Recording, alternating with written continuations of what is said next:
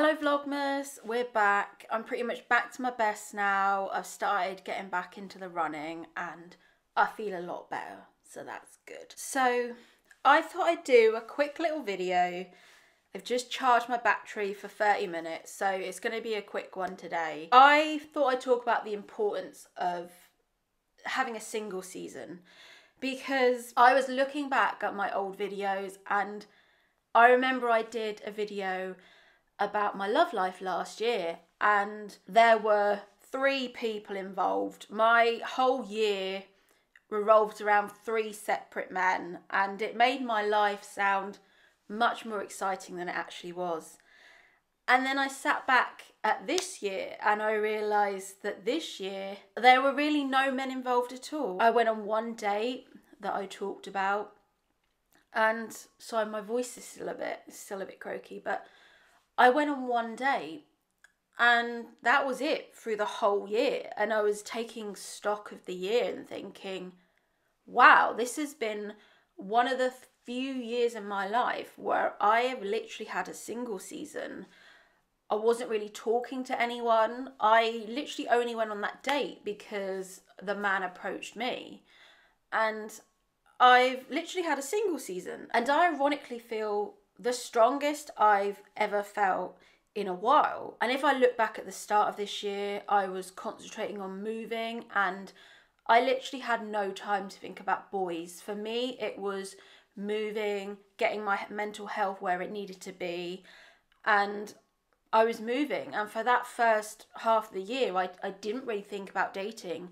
It was all about me, all about what I wanted, a single season. And I do see some people online creating content saying that thinking of yourself and your own needs is narcissism and it, it's generally not. I think people overuse the word narcissism now just for clickbait but for me it was all about doing what i needed to do and i needed to move. And for me i couldn't do that and date at the same time. For me it was tunnel vision. I needed a single season to move and then I did. I really drilled down on what I wanted. And for me, it was the move. And I am glad that I moved now. I was, like, if you've watched my videos before, I was a bit hesitant at first. I wasn't sure if I'd make the right call. But I think I have made the right call now. I am glad I moved. The only downside is I still feel this big fish, small pond man- mentality and I've felt that for quite a while. I've always felt like I'm stunted being in the UK. And it's true what they say. It's the American dream is what it is for a reason. If you want to be successful, if you want to make money, you need to be in America. And I constantly feel this that in the UK, I'm not going to flourish. There's just nothing going on in the UK at all. The more I think about the UK and I watch what's going on and I see I see a lot of poverty in the UK and I know you get that everywhere around the world but at the moment I just feel that at the moment there's a lot of inequality in the UK there's a lot of poverty and there's a lot of unfairness in the UK and for me I just look at other areas in the world and I just want to go and I just want to flourish. And I'm feeling this more now, this big fish, small pond. Like, I don't fit. I don't fit in the UK. I don't fit in the seaside town I'm in. Even walking around, people stare at me because I'm different. They can just tell that I'm different. And I just walk past people. And it's not from an arrogant place, it's just from a place that I have a growth mindset. And walking around, I'm different. I'm different from the people that are just sat outside Wetherspoons on a Saturday afternoon. It's like I have all these dreams that I want to do. And for me, my single season allowed me to realize that. It allowed me to realize that this channel is everything to me. And that's why I'm just pushing at it and I'm doing Vlogmas. This channel has has given me so much. I generally can't put it into words and I hope by the time I put this up, my channel will have grown even further. The previous year was just a roller coaster of me dating people and trying to get them to like me. And now I feel I feel so strong and it's it is almost like that point where I don't need a man. But it's like I know I want a man, but I I generally I don't need a man. I I used to make videos because I felt lonely and inadequate and not good enough. And now I'm sitting in a place where I do feel good enough for relationship and I know that I bring a lot to the table. And now if people troll me, I can just brush it off because I'm strong and I just generally don't care what people think about me. I had to be single and lonely to get to that point. I generally don't think you experience growth in the same way and as quickly as when you're in a relationship. It's it's sadly the only way you can grow and focus. A lot of the time you do have to be single, especially at that start and when you're at that building phase.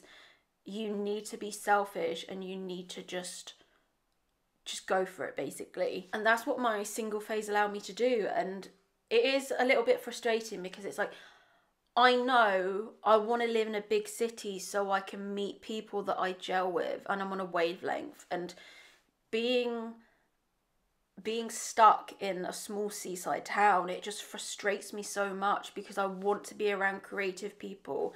And I feel now that I'm starting to possibly outgrow where I am and not all people, but I can feel some of the people around me are starting to resent me for that.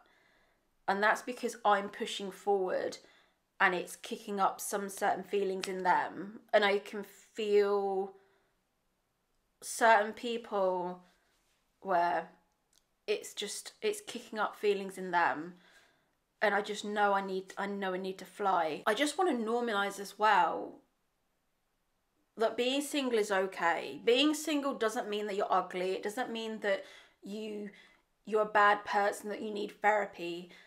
Being single is okay and it's normal and it's okay to have fallow periods where you're not going on dates, where you are investing on yourself. You don't need to be on this constant merry-go-round of constantly going on dates, constantly trying to find someone.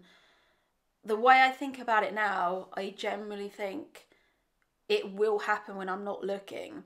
And I always used to hate when people used to say that to me. Used to say, oh, just fuck off. Why are you saying that empty platitude just to make me feel better? But the way I think about it now is I just think it's going to happen when I'm not looking. I'm just not vibing with the people on the dating apps. And people people tend to twist that and they twist that and saying, "Oh, you think, you know, your shit don't stink and you think you're just an amazing person." it it's not that at all. It's this just inner knowing and feeling that I'm not vibing with the people. And at the end of the day, I want someone that can add to my life and I want someone that can make my life better.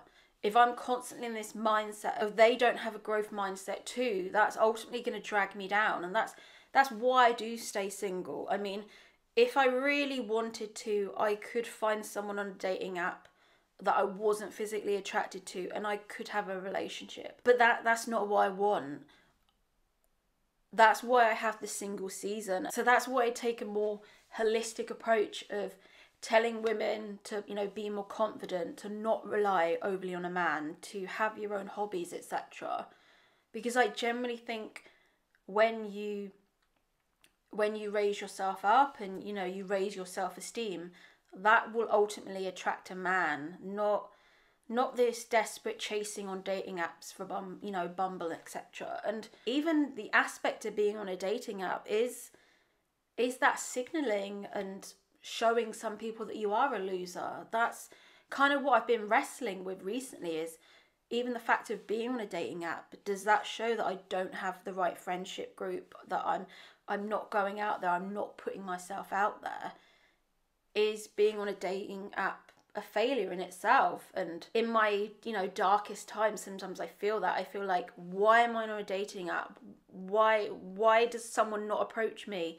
Why does someone not approach me in the supermarket? Why does someone not approach me at work? And that's when i have to try and flip out of that mindset and think you know just you know you just got to do you boo. That's the thing. In in terms of society i'm still you know the failure the 30 something woman that's not married and doesn't have a baby, but I'm generally the happiest I've ever been. I've like reconnected with myself and you know, I read now and I've I've, I've got hobbies and I generally make content now from a happier place of creativity whereas before my earlier videos were purely just because I couldn't sit in the silence. I would generally make videos two or three years ago because I couldn't sit in the silence. The silence was overwhelming for me and I felt this sense that I couldn't escape.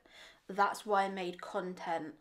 Now, when I make content, it's intentional and it's because I am happier and it's because I want to inspire people. I'm not making content from a place of I can't sit in the silence of being single. And that's why I would just cry in a lot of my videos. It's because the being single would just overwhelm me so much. And I always feel that your emotions always leak out. You can't necessarily hide your emotions all, all the time. And I would try and keep it together, but my emotions would just seep out of my videos. And now I feel when I make content, it's more intentional and hopefully more inspiring to people because you have seen the change in me.